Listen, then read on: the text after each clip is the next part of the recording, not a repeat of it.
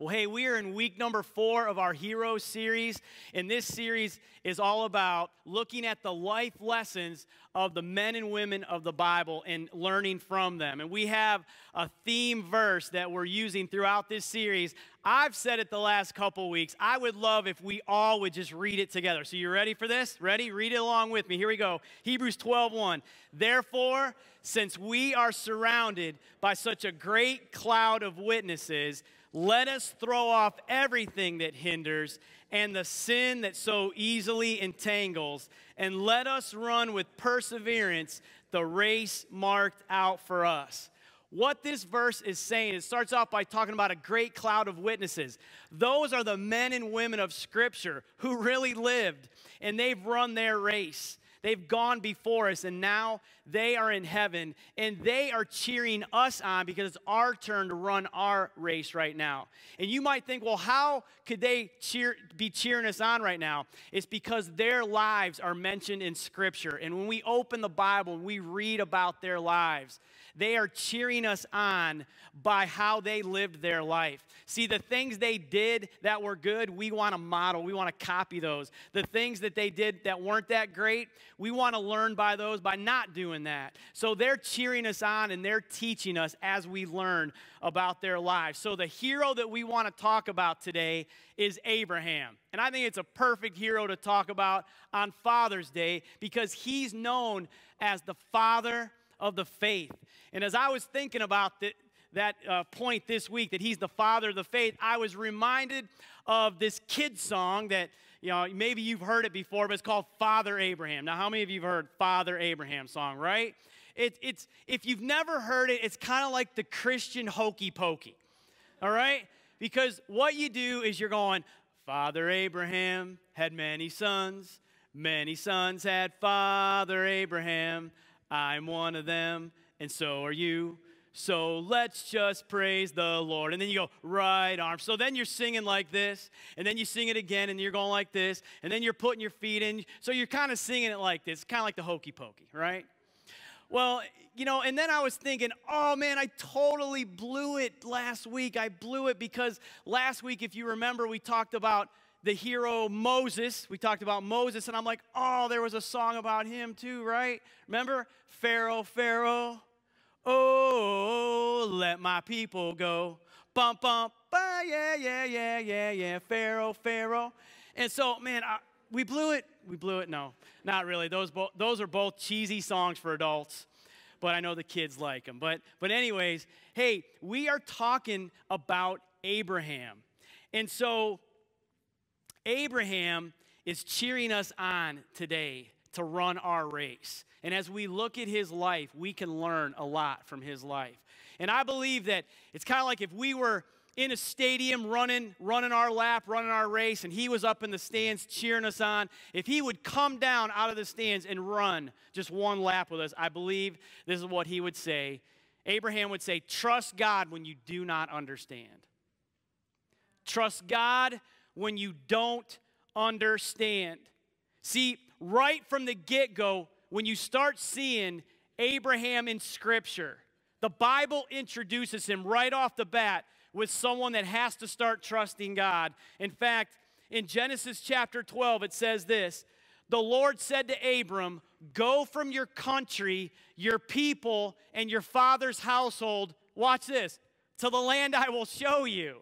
I mean, God just tells Abram, He says, Hey, go, I, I will show you.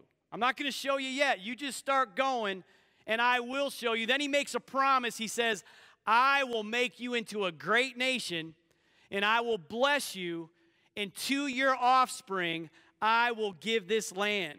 See, Abraham was defined, he was known as a man of faith. That, this is the Old Testament. In fact, the New Testament speaks of Abraham being a man of faith in Hebrews, where it says this By faith, Abraham, when called to a place he would later receive as his inheritance, obeyed and went, even though he did not know where he was going. And so he has credentials to be able to say to us, trust God when you do not understand. can you imagine how many times perhaps Abraham asked the question, God, can you just show me a little more before I go? Can you give me a little more of the details? Can you just show me stuff before I obey? And many times, God is just calling us to trust Him before that happens. In fact, the definition of faith in the Bible says this Now, faith is being sure of what we hope for and look at this certain of we, what we don't see. That's what faith is. And I love this definition of faith that I found recently. And it says this I think this hits it out of the park. Faith is being okay with knowing later. That is a great definition of faith. Because faith is saying, you know what? I'm going to trust God. I'm going to step out. I'm going to obey. I'm going to do what He's calling me to do and I'm okay with not knowing all the details up front. I'm okay with having a partial view. I'm okay with trusting God, and I'll know more later because God is faithful to show us exactly when we need to know. In fact, this, this became very clear to me this week as I was traveling. I was traveling on an airplane this week, and when I went to my destination, it was really great weather, and even at 30,000 feet, you could just look straight down and see everything. But when I was coming back, um, you know, it was overcast. In fact, when I, it's kind of funny, when I was getting on the plane coming home, I put this on my Facebook. Some of you may have seen it, but I was getting on the plane and the, and the airline staff was, they were kind of introducing all of themselves on the PA system. And they were going through, you know, they, they said, you know, the pilot's name is this, and then the co pilot's name is just in case. Get it? Just in case. And I'm thinking that name does not fit for the pilot, but it certainly fits for the co pilot because, well, just in case something happens to the pilot, you have just in case to save the day. I'm like, wow, that was kind of kind of strange. But anyways, so I was glad just in case had it all covered. But, but anyways, coming home, it was really overcast and stormy. In fact, they had to reroute us. And, but we're on our descent. I mean, we're coming right to land in Cleveland and we could not see anything. I mean, we're getting ready to land. It was like overcast, cloudy, gray, couldn't see anything. And I'm thinking, how does the pilot do this? They are my heroes. I mean, how do they do it? And, and you know, I don't know all, but I, I know enough to know, well, probably they're, they're just looking at their instrument panel. And probably they're having headphones on and they can hear the air traffic controller tell them where to go. And I just had this revelation like, that's exactly what we have to do when we don't see everything. We have to look and we have to listen we have to look at the instrument panel that God has given us right here. The instrument panel of God's Word.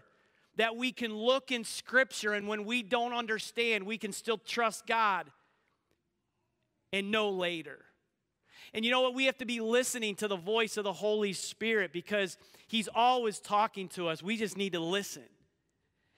And so, as we get into this today, you know, we can ask the question, why should I trust God when I don't understand? Because that's scary. It's hard. Why should I do that? I'll tell you why. Because God always does the right thing. God always does the right thing. That's why I can trust Him, even when I don't know everything up front. So I want to give you six ways that God always does the right thing because I believe every single one of them relate to us today. And here's the first one in your notes God always does the right thing even when you face a detour. Even when your plans change, when they, they don't go exactly how you thought they were. Let's look at Abraham's life because he can teach us something about this. Remember the scripture we just shared earlier where God told Abram to go? So here's what the Bible says it says, then Abram set out. That's good. That, that Abram, he, he was responding to God. He was responding to God saying, Go. But watch this, verse 10 and there was a famine in the land. That was the detour. He didn't know about the famine when he started to go. Plans changed. there was a detour. So you know what Abram did? He, he was looking and listening to the voice of the Lord. It says, And Abram went down to Egypt to live there for a while because the famine was so severe. Man, we face detours all the time. We face times when, you know, we're planning this, we're going this direction, and all of a sudden something happens and our plans change. And you know what? For most of us, I know it is for me, I get frustrated. Man, I don't like detours. In real life, when you're driving the car and you see that orange sign, you're like, oh, right? It's going to take more time. I'm going to be late. I wasn't expecting the detour. Nobody likes detours. But you know what God does? God uses detours. In fact, God used this detour in Abraham's life to do something incredible in his life because notice it says this he was in Egypt for a while. And you know what happened while he was there? Look at this. In the next chapter, it tells us it says, So Abram went up from Egypt because now the famine's over. So he's coming up from Egypt now with his wife and everything he had. And Lot, his nephew, was with him. Watch this. Abram had become very wealthy in livestock and in silver and gold. Where, where did that happen? It happened after the detour. It happened as plans changed. And you know that sometimes God is the one behind that detour in your life? God is the one allowing those plans to change because there's actually something better as you walk through that detour. In fact, I hear stories sometimes where, in fact, this really happened where this, this gentleman, he, he fell down and he injured his hip. So he had to go to the doctor and he didn't, you know, it was, it was you know, just kind of cramping his style, like it just threw a wrench in his plans, you know, and he's like, oh, you know, I have to go through this. So he goes to the doctor and the doctor's checking out his hip and they found a tumor that they had ne- they wouldn't have known unless he would have you know he fell and he had to go get checked for his hip so they found this other thing and the doctor says it's kind of good that you fell and we you had to check your hip because now we found this that we can take care of and sometimes God is behind those detours, and sometimes we just have to trust God because even when we're in a detour, God always does the right thing. Amen? Let's look at the second one. God always does the right thing, even when you prefer others even when you put someone else first, when you let somebody go in front of you, when you let someone else have first choice and you get second, do you know that God will always do the right thing and take care of you? I mean, this whole concept of preferring others, I mean, that's living the life of love. That's what we're called to do. But do you know why sometimes it's so hard to prefer others? Because we're kind of afraid, well, man, if I let that person go first, they're going to take the best thing. What am I going to get? I mean, if I, if I prefer them, what about me? And that's valid. We, we think that way. It crosses our mind sometimes.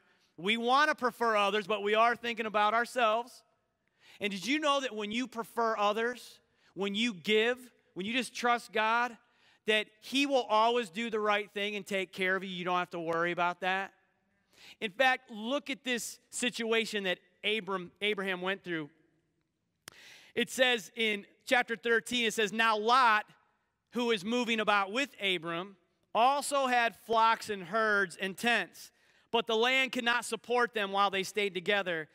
And their possessions were so great that they were not able to stay together. And quarreling arose between Abram's herders and Lot. So Abram said to Lot, Let's not have any quarreling between you and me, or between your herders and mine, for we're close relatives. Is not the whole land before you?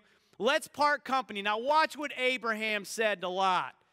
Watch how he preferred others. He said, Hey, if you go to the left, I'll go to the right. If you go to the right, I'll go to the left. Look at Lot's response. Lot looked around and saw that the whole plain of Jordan towards Zoar was well watered. Or can I just say, it looked better? It looked better. So he chose what looked better. In verse 11, so Lot chose for himself the whole plain of the Jordan and set out toward the east. The two men parted company. What, hap- what happened to Abraham? Well, it says Abram lived in the land of Canaan. He took what was left, he preferred others. And when we prefer others, God always does the right thing because as you move along in this story, this is what it says. The, the land that Lot took that looked better at first ended up, ended up not becoming that great. See, eventually it became the land of Sodom and Gomorrah. And many of us know about that. We're going to talk about that later. But the land turned out to be not that great. And the land that Abram ended up having ended up being very good. And so we see in Scripture that God always does the right thing when we selflessly prefer others, and God takes care of us. Let's look at the third one. God always does the right thing, even if it takes a long time. Even if it takes a long time. I think many of us can relate to this one. Well, see, now we pick it up in Abraham's life where we're about 10 years now since God gave him that promise that he was going to have children and he would become a great nation and he would be blessed. And the Bible says this in Genesis 15. It says, After this, the word of the Lord came to Abram in a vision. Do not be afraid, Abram. I'm your shield, your very great reward. Why did God have to say that? Because God spoke something 10 years ago and it hadn't happened yet. How many times do, we face situations like that? Man, I know God has promised this to me. I know God has spoken this to me. I know God's going to come through. I know God's going to provide. I know God's going to do this. And we're waiting, and we're waiting, and we're waiting. And what happens when we wait? We can become discouraged. And that's what was happening in Abraham's life. That's why God had to show up and encourage him. In verse 2, it says, But Abram said, Sovereign Lord, what can you give me since I remain childless? And the one who will inherit my estate is Eleazar of Damascus. And Abram said, You've given me no children, so a servant in my household will be my heir. Then the word of the Lord came to him This man will not be your heir, but a son who is your own flesh and blood will be your heir. He took him outside and said, God took Abram outside. Now it says, Look up at the sky and count the stars. Watch this. If indeed you can count them. Is it even possible to count the stars? No. We can't do that. What God was saying is this just as you can't even count the stars, you're not ever going to be able to count your descendants.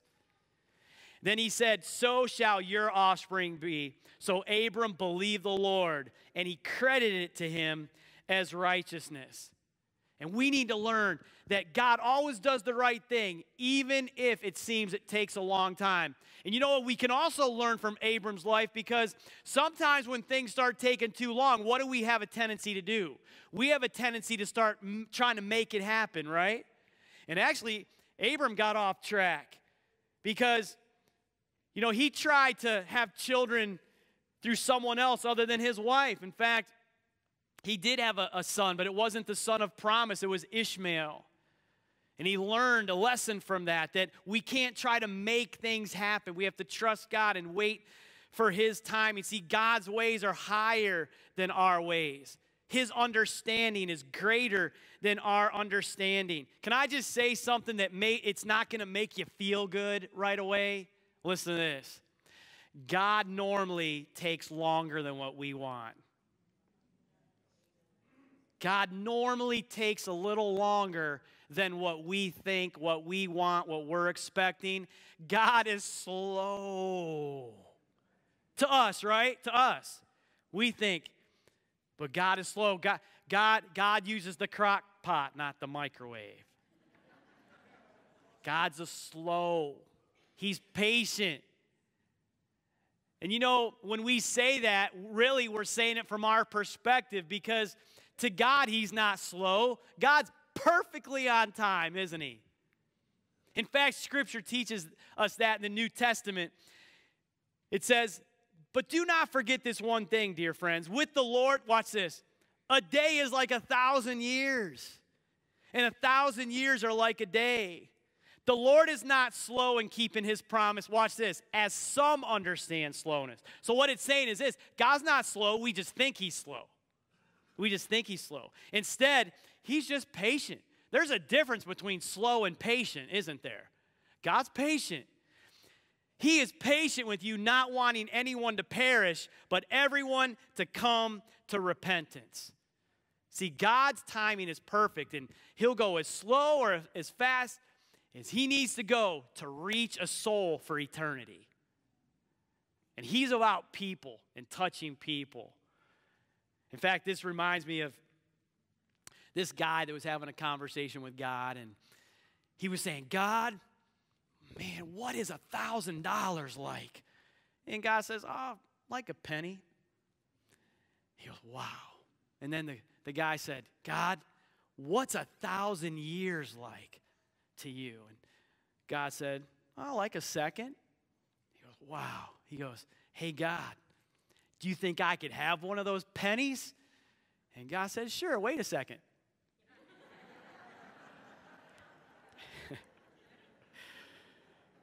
so God's timing is not our timing, but He always does the right thing.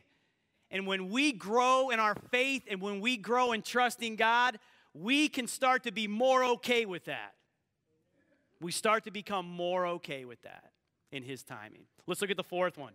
God always does the right thing, even if it seems ridiculous, even if it seems absurd, even if it seems like that's crazy. Well, let's fast forward again through Abraham's life. See, now we're about 13 years past the last scripture that was 10 years, so we're about 20 some years now past that original verse where God said, Abraham, I'm going to make you into a great nation. You're going to have kids. You're going to be blessed. Well, okay, 20 some years now, and it hasn't happened. And Abraham's just saying, man, I don't know if this is ever going to happen. And one day it says in Genesis, when Abram was 99 years old, the Lord appeared to him and said, Your name will now be Abraham for I have made you a father of many nations.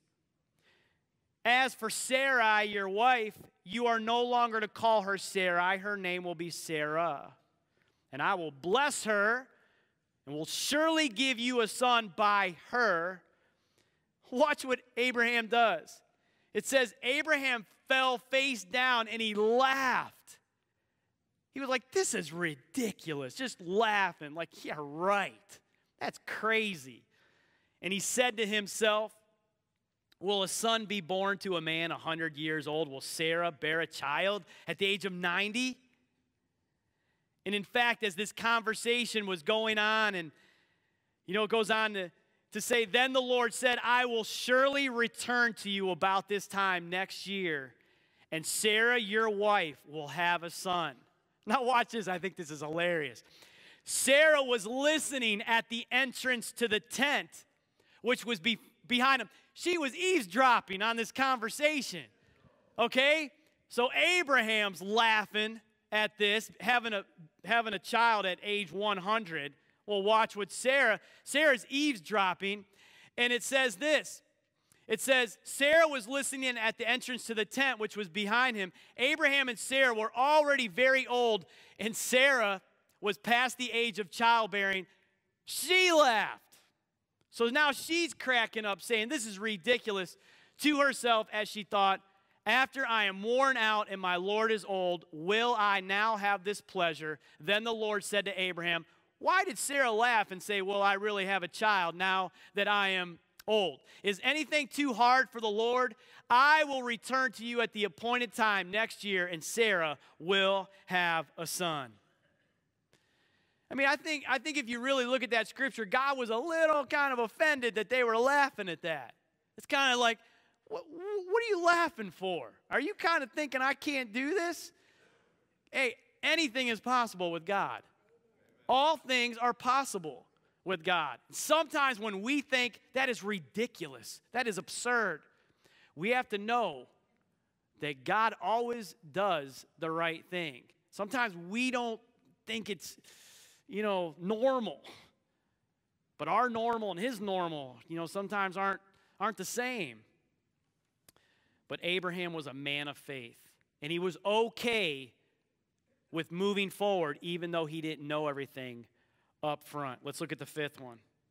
God always does the right thing, even if it doesn't seem right. Now, let me explain this one to you. This is a little different than the other one. Even if it doesn't seem right. Let me explain it in this story about Sodom and Gomorrah. In Genesis, it says, Then Abraham approached him, God, and said, Will you sweep away the righteous with the wicked? Let's stop right there. Notice in the other scriptures, God was approaching Abraham. This scripture, Abraham's approaching God. Why? Because Sodom and Gomorrah, where Abraham's nephew Lot lived, got so bad. It got so evil.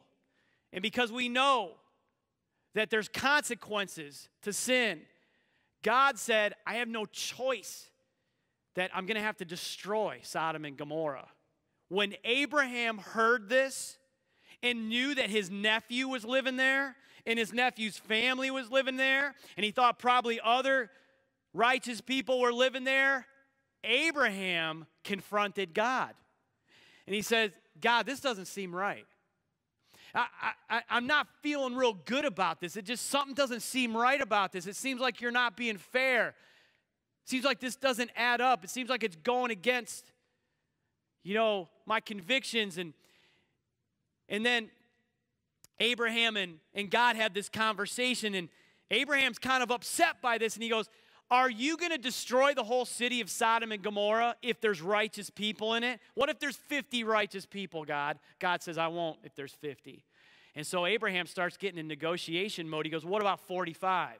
40, 30, 20, goes all the way down to 10. And God said, if, if, you, if there's 10 righteous people in that city, I will not destroy it. Well, you know what? There was not even 10. There was not even 10. Only Lot and his family were the only righteous people. So Lot and his family left Sodom and Gomorrah. And Abraham came to a place knowing that God was going to have to destroy Sodom and Gomorrah that he makes this statement that we know that he was a man that trusted God, that he says this in verse 25. Look at this. But even though it doesn't seem right, will not the judge of all the earth do right? See, it doesn't seem right to me, but God, I'm okay knowing that you're going to do the right thing. And you know what, church? We need to we need to get to that place because all you have to do is kind of look around what's going in the world a little bit, watch the news a little bit, and you can start thinking that just doesn't seem right. That just doesn't seem right. And we have to get to a place with trusting God enough that we say, even though it doesn't seem right to me, why is God allowing that? Why does God do that? Why, and we're trying to ask all these questions and trying to figure it out. We have to get to a place, like Abraham said, and just say, it doesn't seem right, but will not the judge of all the earth do right? And I will trust him for that. I will trust him. Let's look at the last one. God always does the right thing, even if we don't understand. Even if we don't understand. We come to probably the, the most known, greatest story of Abraham. Of now that Isaac the son of promise is born. The son he was waiting for all these years. He's born and he's, he's in his teens now.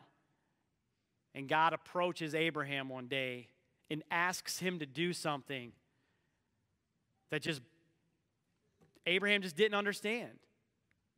And he God asked Abraham to sacrifice Isaac this son that he was waiting for all these years. In Genesis, it says this Sometime later, God tested Abraham. He said to him, Abraham, here I am, he replied. Then God said, Take your son, your only son, whom you love, Isaac, and go to the region of Moriah. Sacrifice him there as a burnt offering on a mountain I will show you.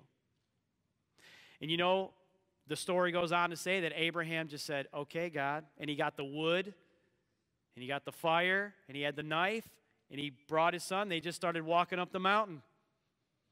And you know, Isaac started to look around. He goes, "Let's see. I see the wood. I see. I see the knife. I see the fire.